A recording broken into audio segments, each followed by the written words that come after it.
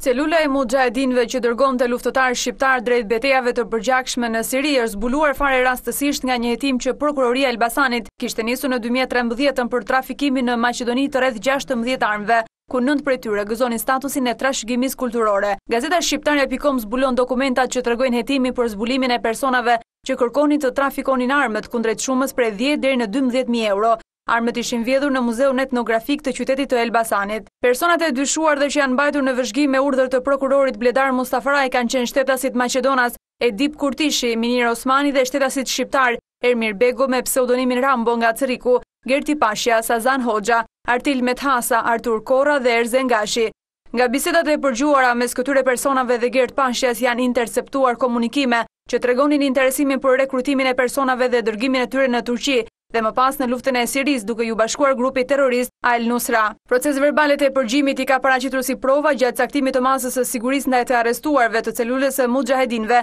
që drejtohej nga Genci Balla dhe Bujar Hysa, në raport shërbimin e mbajtur nga oficerët e SHISH tetë muaj pas fillimit të hetimeve në Prokurorinë e Elbasanit, rezulton se dy të dyshuarit e implikuar në trafikun e veprave të artit, Artur Korra dhe Erzen Gashi, ndodhen në luftën siriane. Emrat e tyre janë mes gjashtëdhjetë e pesë shqiptarëve që Shërbimi Informativ Shtetëror ka listuar dhe dërguar Prokurorisë së Krimeve të Rënda. Tashmë Gashi dhe Korra ndodhen në Siri dhe sipas raport shërbimeve të SHISH-it ata janë pjesë e grupit terrorist Al-Nusra, Dërgimi i tyre në Siri është bërë nga dy imamët, Genci Balla dhe Bujar Hysa. Gazeta Shqiptarja pikom ka zbardhur bisedën e datës tridhjetë mars dy mijë e trembëdhjetë e cila ka zgjatur vetëm pesëdhjetë e pesë sekonda dhe është pasqyruar në procesverbal ku flitet për një ultimatum dorëzimi të ushtrisë siriane për dymbëdhjetë orë. Për Bashar Al Asadin flitet që do ikë në botën tjetër pasi ushtrisë së tij i kanë vendosur ultimatum.